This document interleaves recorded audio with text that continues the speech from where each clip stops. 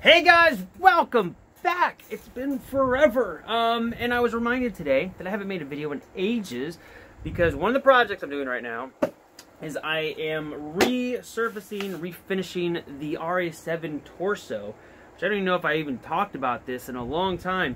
Um, I got this thing wearable, used it in a Nerdist shoot, so there's a Nerdist shoot for it's like a Lando spoof, and I have the full RA7 Droid uh, black version in that shoot. And uh, this torso was used there. I'm resanding it down, uh, repriming it, making it uh, have a better, cleaner finish, and then it's going away. And then I'm going to make another one for myself. Um, but that reminded me of something that I think the last video I made was like a month ago, maybe more. Um, I wanted to talk about the shoulder rings that I've made for these protocol droids. They're the same as on C-3PO. and This is the new C-3PO torso I'm working on for myself as well. Um, the shoulder rings are something I've worked on for a while, and uh, just to give you an example what that is, this would be the shoulder ring. This is one of them. It goes between the torso part and the shoulder bell, which is out here like this. And uh, this is the shoulder ring. So picture the torso, shoulder bell, shoulder ring. Um, so I've been wanting to redesign this forever because the one on my existing C3PO is completely inaccurate and I hate it. Uh, the one that's on my suit now just has like a little Velcro strap. So when it's on the suit, the, uh, the shoulder bell swings like this next to the suit. And it shouldn't do that. It should, it should pivot like this almost like a like a bearing in between the torso and the shoulder, which looks way better. Um, so I've just been wanting to fix that for a long time. So I've done multiple iterations of these parts for years. I mean, the first printer I had, the G-Tech printer I've had a couple years ago, some of my first prints on that printer were the original version of the shoulder ring that I was working on. Um, so let's see. So this is the, kind of the first generation that I did. It's designed like the movie suits, except it's plastic, obviously. The movie suits were made out of, uh, movie suit shoulder rings were made out of aluminum. Um, but the same design. So you can see there's, right now I have these three little metal wires in here. Uh, those on the movie suit would just be these tiny little screws that hold it in place. And on the inside, let me find one that's open. I have another one here. This is the, another one. This is the one I just had. Here's the same thing without the pins. When it opens up, you can see this part has like a little um, a little flange goes around the outside and this has a flange on the inside with a groove in it. So when you put them together and the screws go through they sit in that groove and they keep this part from falling off. And they also let it turn which is really cool. So you can see there how the design works. Really really nifty. It has a little notch here for a small hinge so that the shoulder bell would be like this. This is just on with a zip tie, but it would uh, connect with a hinge and uh, be really, really sturdy and good. It's cool design, works great. But the issue with this is that I have to travel with my suit, and it has to go in a small, kind of like a Rubbermaid case where, that I use to transport everything. And when I put it in there, I have to take the shoulders off. Now, the problem starts to come up when this is attached, the little hinge is put in with screws. There's little screws that hold this all together. And this piece is actually fastened to the torso.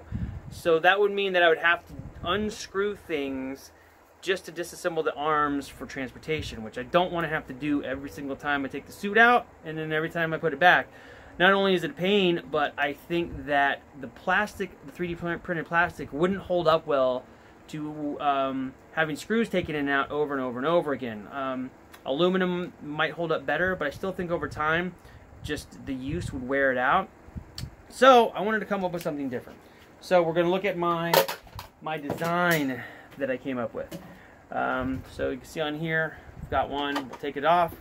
This is the latest version. Um, same same concept, works the same, rotates just like the other one did.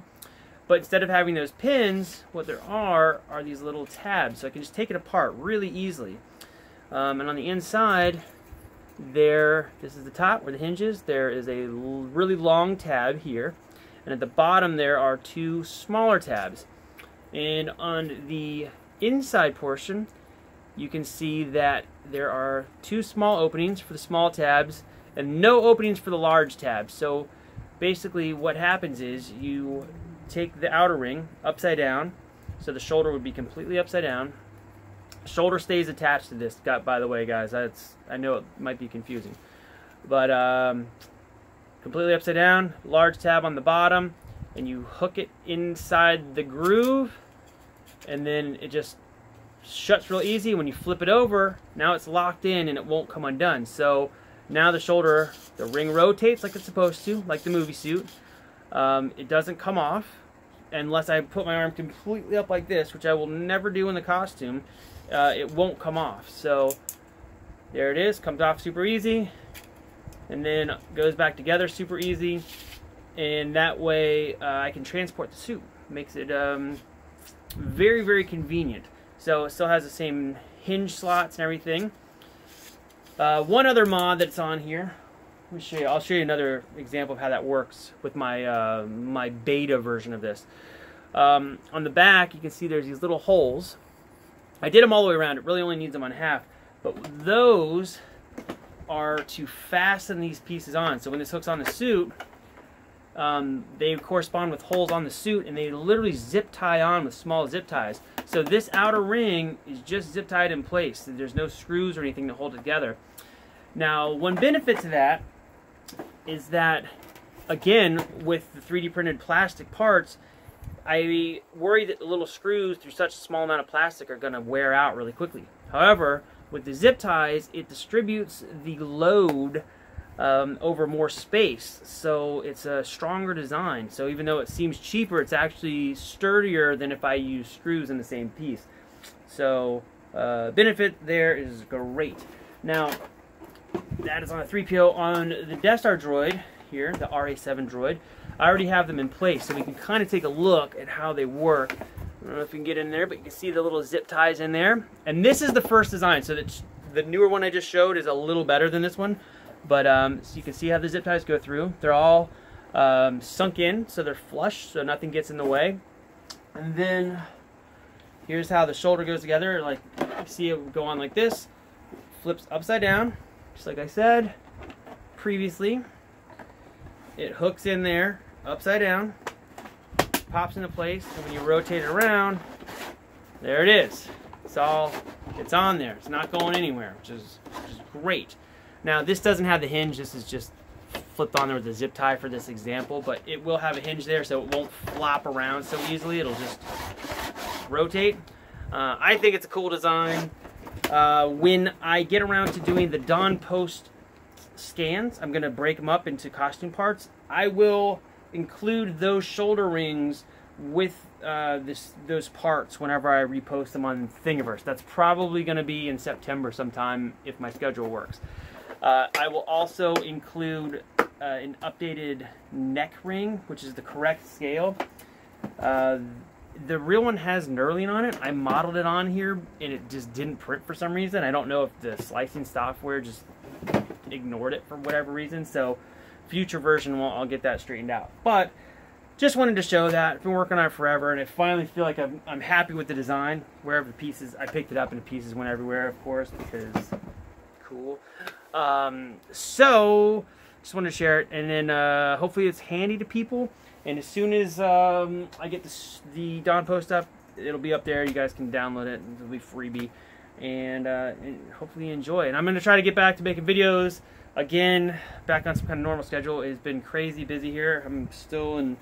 It's like 10, 18 at night. I've been working since six o'clock this morning, and I got another two hours to go at least just tonight. So uh, look at that, EV99 back there, almost done. Cool. Mm-hmm. I'm gonna uh, post that droid up soon as well, so everybody can take a look. See, quite excited about that one. It's coming along very nice. But uh, anyway, guys, thanks for stopping by. Sorry it's been forever, and I will see you kids soon.